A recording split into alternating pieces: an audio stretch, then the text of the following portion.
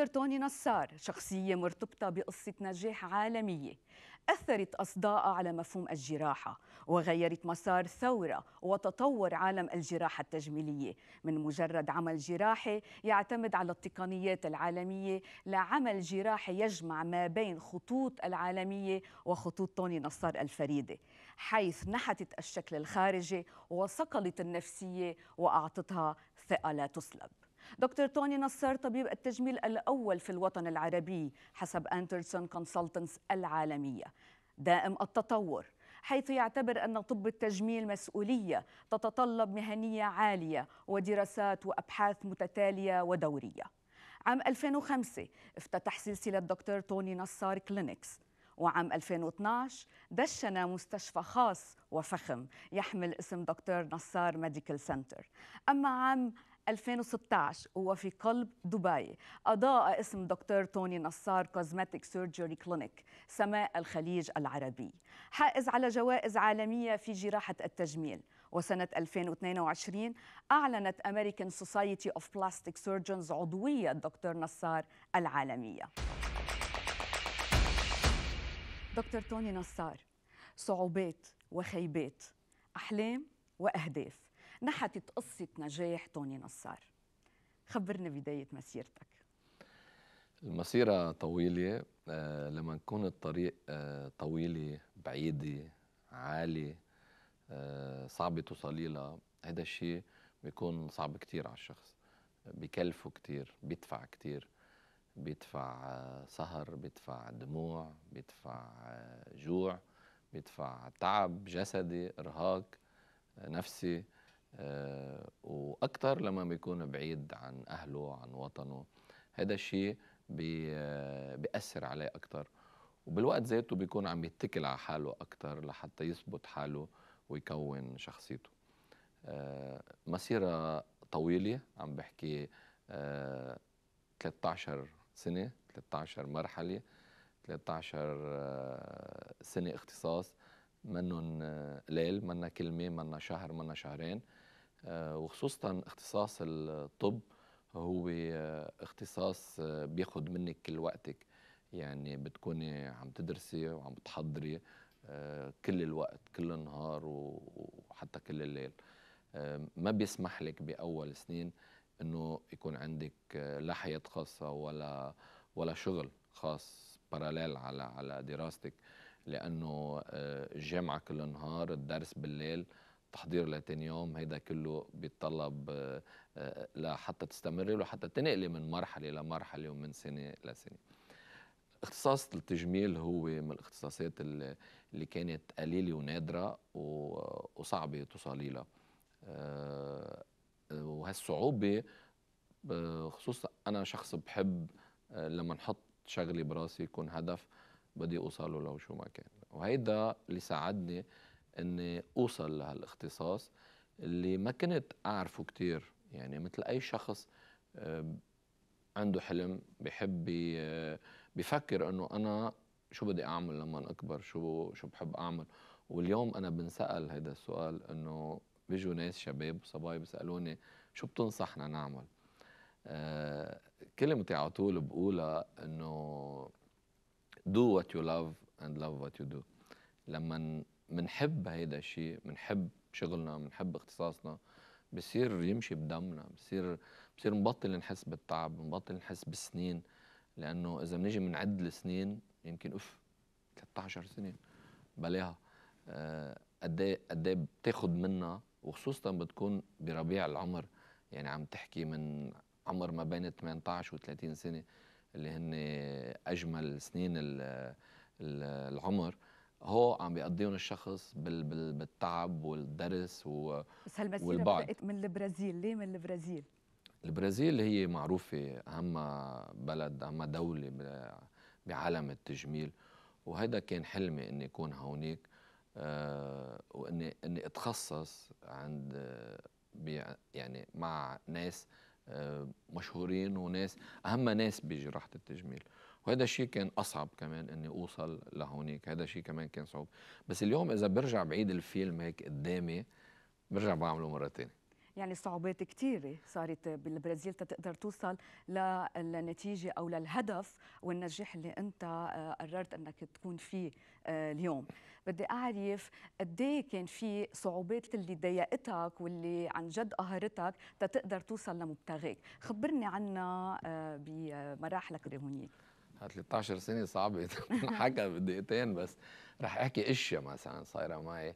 آه، بذكر في سنين آه، من الاختصاص ما كانت يعني مثلا شغلة صغيرة كنت آه، أظهر من البيت يوم الأحد عشية أرجع الأحد الصبح.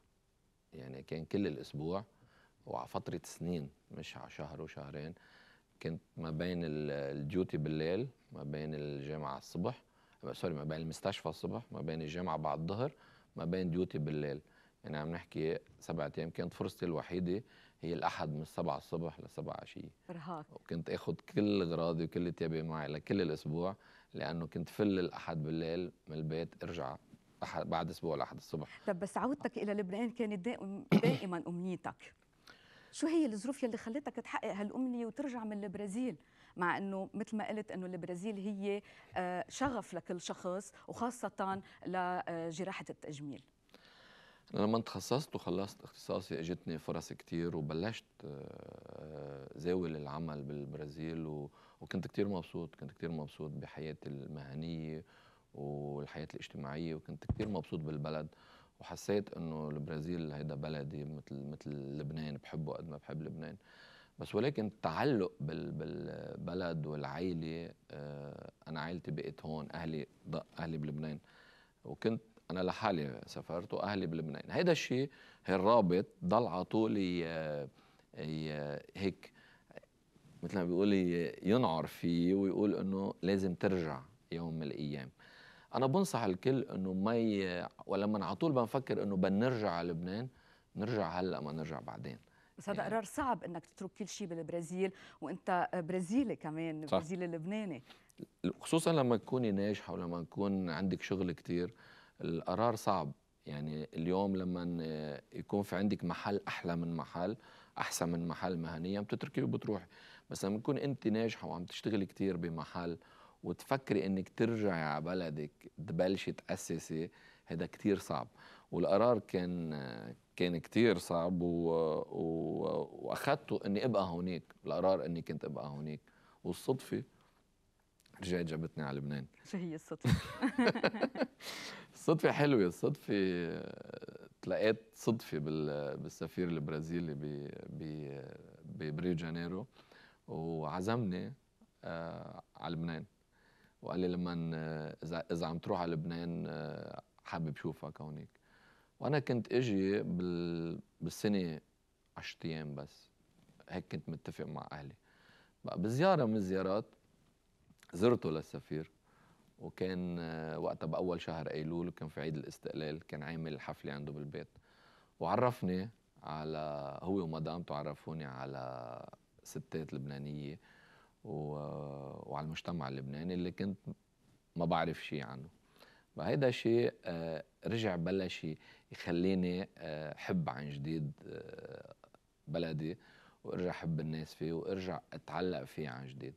من هون بلشت هالمسيرة الثانية اللي هو ارجع زيارات على لبنان. بدل ما يكونوا 10 أيام بالسنة كانوا عم بيكونوا أكثر كانوا عم بيكونوا شهرين وثلاثة مقسمين على السنة. شو كان عنوان أول صفحة كتاب نجاحك بلبنان؟ من أول نجاحات لما قررت أرجع على لبنان وهيدا كانت آه، لما لما مبي بيقول لي بالليل بدق لي بالليل بيقول لي آه، خبرونا إنه في شيء أنت عملته كتبوا عنه بالجريدة هونيك. وأنا كنت أخذ القرار إني أبقى بالبرازيل. وقال لي انبسطنا إنه آه، بالشيء اللي سمعناه والشيء خبرونا إياه عن شيء كتبوه عنك بالجريدة.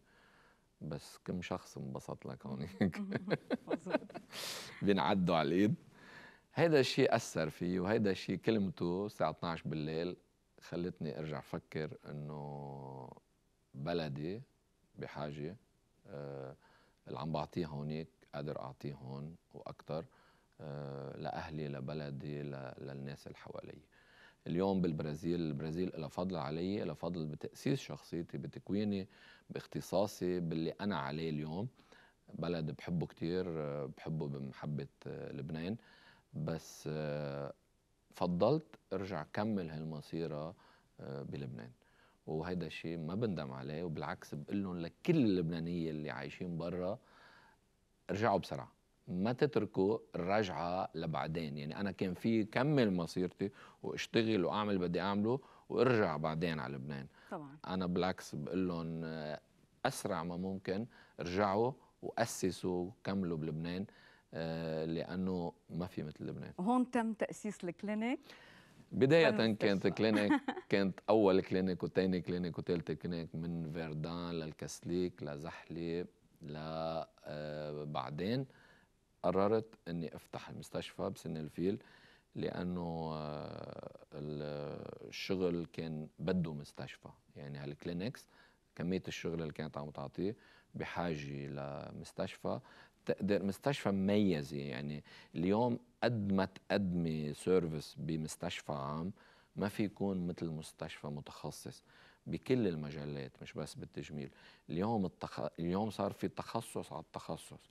اليوم لما بتقدمي شيء آه، بمكان معين متخصص كل الستاف متخصصين رح تكون نتيجتك أحسن وأفضل. يعني نوعية الشغل رح تكون أحسن بكثير صحيح. وهيدا الشيء اللي صار معي. بس هالمستشفى مش بس هي بس بلبنان صارت عالمية. إيه. لا رح نحكي فيها كيف بتوصف برؤيتك الخاصة التطور يلي طال مقاييس ومعايير الجمال؟ بين تطور بين الأيام الماضية ونحن بوقتنا اليوم؟ أه حب الجمال للشخص هو ذوق. يعني بيختلف بين شخص وشخص. بينما الإبداع فيه أه هو أه يعني هو فن. اليوم أنت ذوقك ممكن يختلف عن شخص تاني بنظرتك للجمال. بس لما بتشتغلي فيه وبتبدعي فيه صار فن. من هون جراح التجميل هو مزيج ما بين الطب والفن سوا. ما في يكون طبيب عام أو جراح وما في يكون بس فنان. بده يخلط هو اثنين وبده يشتغل عليهم اثنيناتهم. هون هون الفرق آه، بين بين طبيب وطبيب وبين جراح وجراح. هي هيدي النسبة اللي بيستعملها آه، بشغله. اليوم لما نمزج الفن مع الطب عم عم عم نبعد عن ال عن ال copy paste عم نبعد عن الناس اللي بتشبه بعضها. آه، اليوم كل حالة هي حالة خاصة وكل آه، حالة بنفوت عليها هي آه، مثل ما بيقول شيء مسكر بنكتشفه خلال العملية. قد ما نكون راسمين إشياء الشغل اللي بيصير بوقتها هو هيدا اللي بيعطي جدارة الجراح وقد إيه عنده آه، قد إيه عنده bank of knowledge أو of experience بيساعده بساعة اللحظة ياخذ القرار الصح ويعطي النتيجة الحلوة. يعني اليوم في صحة في طب وفي تجميل. طبعا. مزيجهم هو اللي بده يعطي الشيء الحلو. طبعا. الجمال الخارجي وارتباطه بالتوازن والرضا النفسي أكيد بيوضعك أمام مسؤولية كثير كبيرة تجاه العمل التجميلي.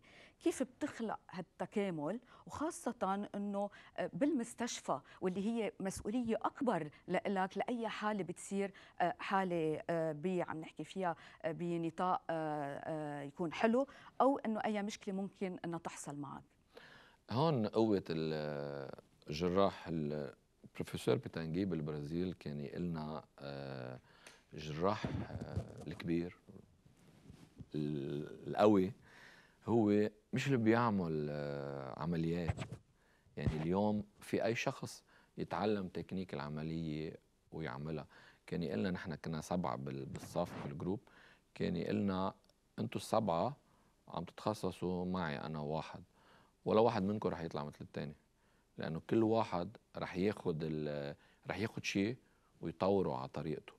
هذا الشيء اللي بيطوره على طريقته هو بتنطبع على الشخص على شخصيته على آه، مهنيته على طريقة تفكيره على طريقة تحليله آه، للأمور. من هون لما نحن عندنا هال package وعم عم نشتغل فيها ما في خوف.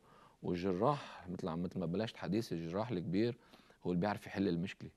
يعني مش اللي بيعرف يعمل عملية. أكيد. لأنه العملية هي تكنيك بينما الجراح هو اللي بيعرف يحل المشكلة. يعني اليوم معرضين بأي عمل تجميلي أو جراحي يصير في مشكل يصير في كومبليكيشن يصير في أي شيء منه مرسوم. هون قوتك أنت إنك تحلي القصة وبثواني. يعني هون في آه الله أنا بقول بيبقى عاطينا مثل موهبة آه آه تلقائيا من من من حل.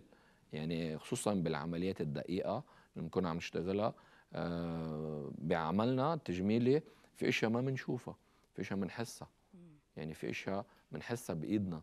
بس ما- بنشوفها بس بس مش كل يعني أنت عندك إياها موهبة أنا بعرف وخاصة لما كنت بالبرازيل كانه ي- كان عندك تاتش ديفرنت عن أي آه، دكتور تاني وكان عندك إياها موهبة من عند ربنا. يعني هيدي قد إيه كمان إنه زادت آه، من حسك للمواضيع ومن نجاحك كمان.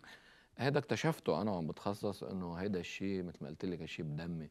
هالشيء الله عطيني إياه ونقيت الطريق الصح نقيت الشيء مش بس اللي بحبه الشيء اللي أنا موهوب فيه. يعني شيء آه، خلق معي يمكن. آه، هون بصير ال- الإبداع وهون بصير الشغل وما في تعب لأنه أنت عم تشتغلي شيء بتحبي آه، بتحبيه بتحبي تكوني فيه.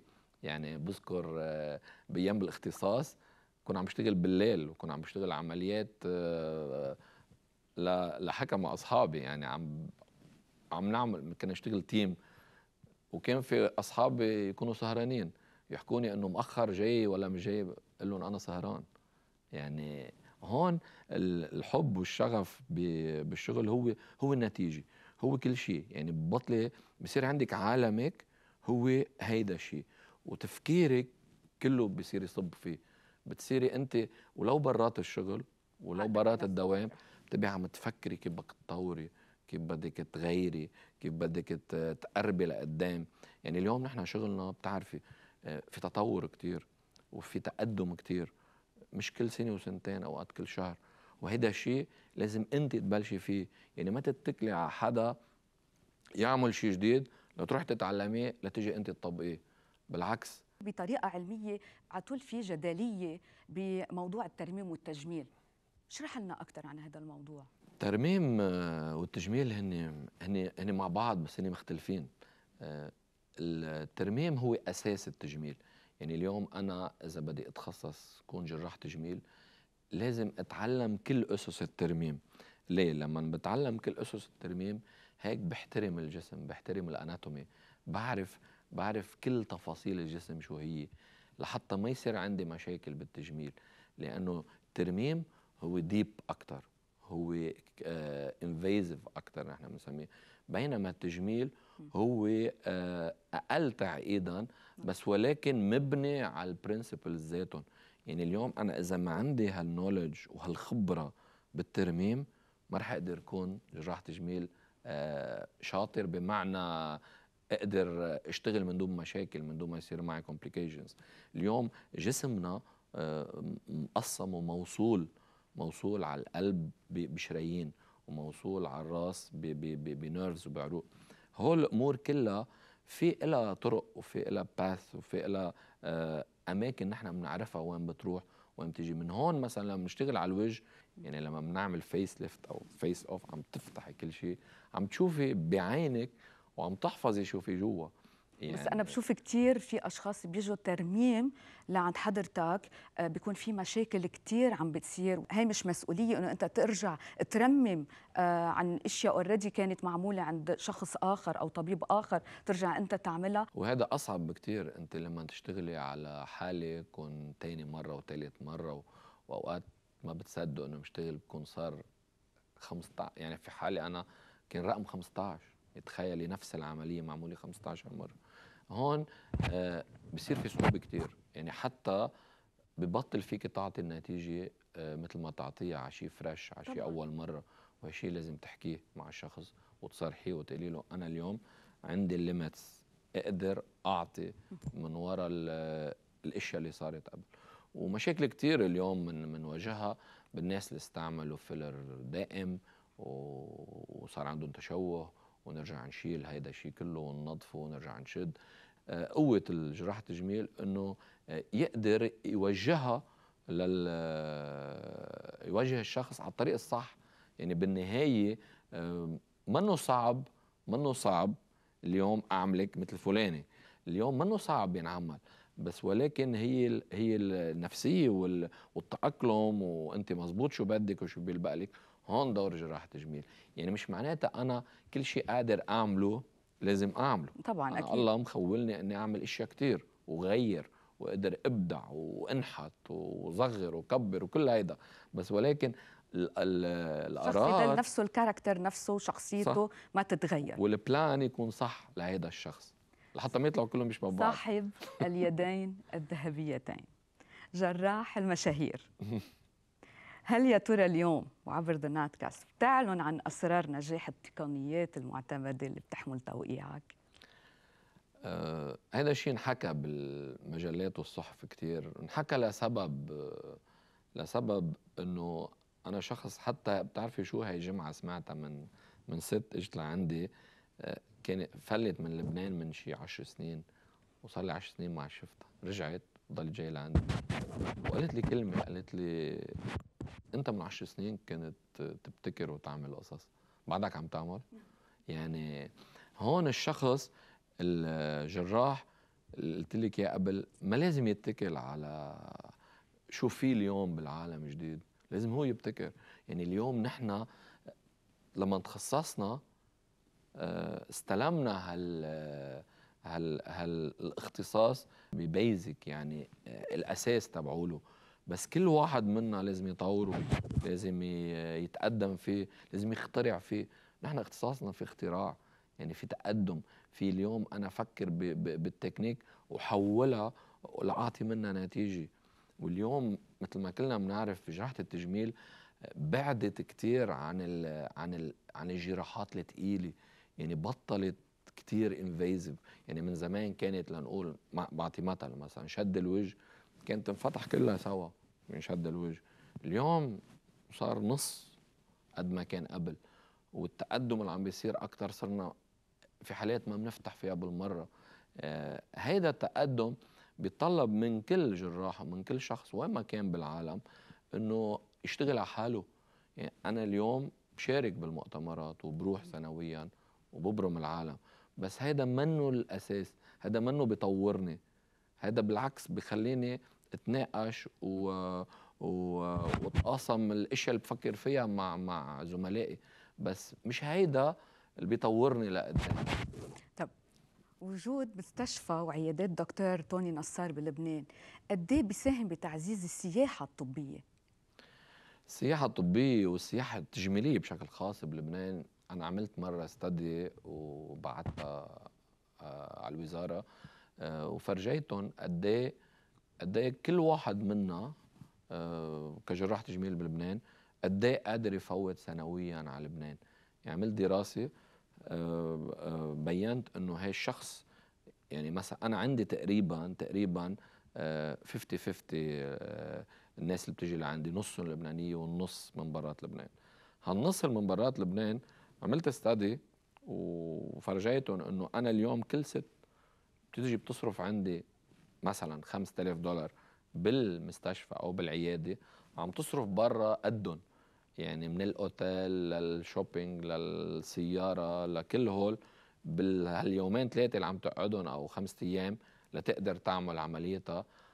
إذا عم تصرف عندي خمسة عم تصرف بر بلبنان خمسة تانيين. يعني هيدا الشيء طبعا. لازم ندعمه ونساعد فيه لأنه هي اليوم أكبر مصدر سياحة ممكن يكون بلبنان. واليوم لبنان معروف يعني ما بده دعاية بالتجميل.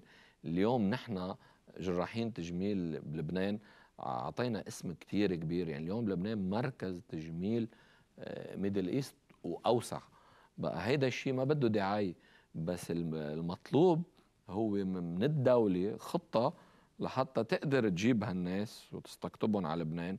بتسهيلات بمساعدات بخطة معينة لحتى آه، تسعى وتنهض بهال بالسياحه التجميليه وهذا اللي بعرفه إنه أنت استقرارك بلبنان حتى لو آه، عم بتسافر أنت على كل دول العالم بس بترجع على الوطن الأساسي اللي بتحبه وبترجع بتقول على طول أنا بطلع برات لبنان ثلاث أربع أيام بس أنا بدي أرجع على بجيبهم على لبنان. بترجع بتجيبهم على لبنان. بطلع ببرم كل الدول العربيه أنا بروح عليها بس برجع أنا بحب جيبهم على لبنان. بحب يجوا في منهم بيعرفوا لبنان واللي ما بيعرف لبنان يجوا يتعرفوا على لبنان.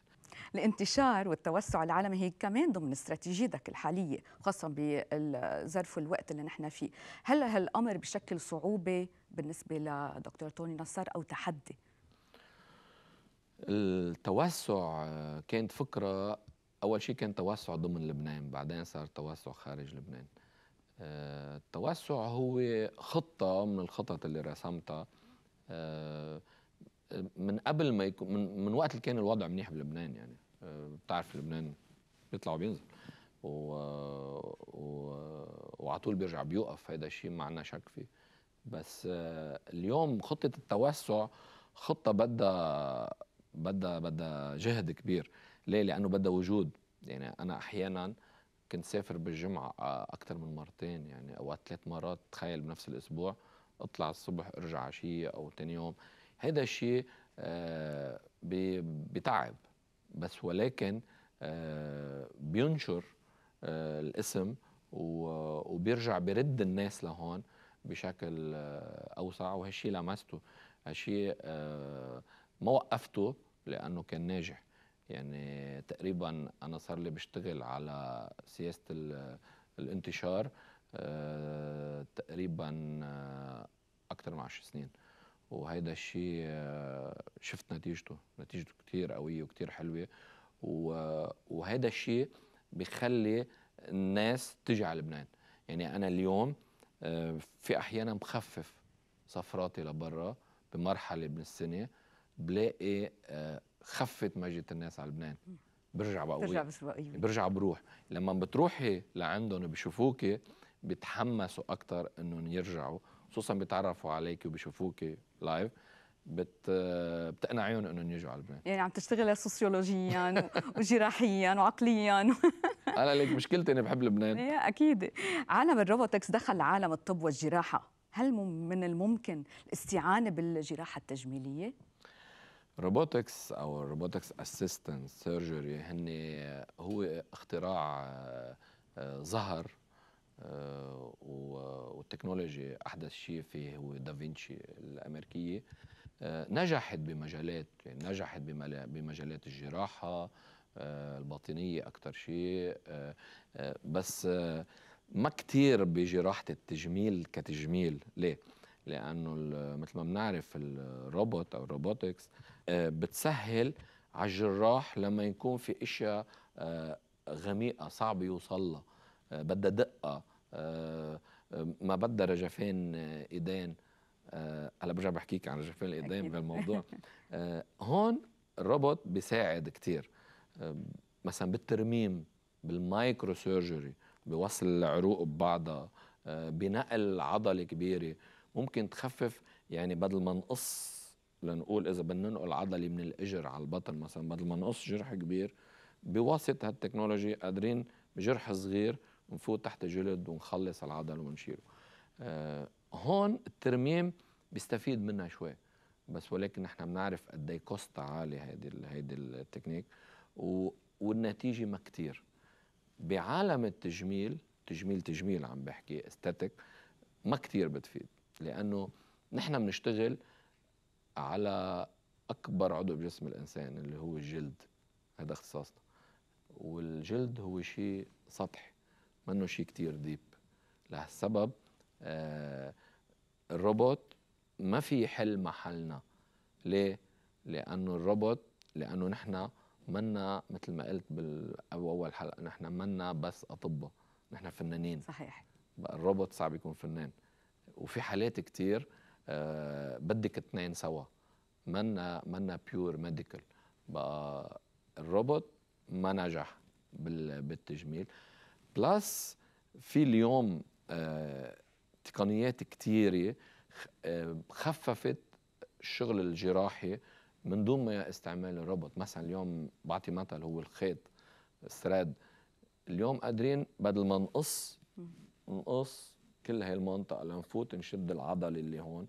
قادرين بواسطة الإبرة بفتحة إبرة صغيرة يعني من دون قص نفوت بالخيط على العضلة اللي بدنا اياها ونشدها. آه okay. يعني هيدا دور الروبوت اللي كان بده يعمله قادرين نعمله بشيء أبسط بكتير. بالختام شو هي المقولة اللي بتعكس شخصية دكتور توني نصار؟ الشخصية هي بتتكون عبر السنين عبر الأيام اللي, الإنسان بيقطع فيها. آه، أكيد بيقطع بأشياء حلوة وأشياء مش حلوة أشياء منيحة وأشياء مش منيحة. آه، هون بيصير آه، ماشي على مبدأ ماشي على على شخصية مكونة من هذا الشيء.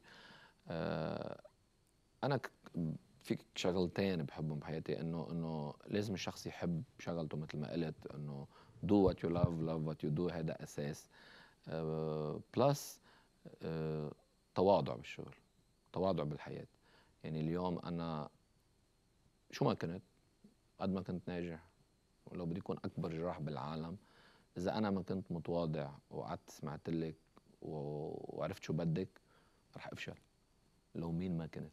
كلنا شاهدين إنك بتتحلى بهيدي الصفة thank you هيدا سر النجاح هو العمل الجهد الإبداع النحت تفنن بس بتواضع.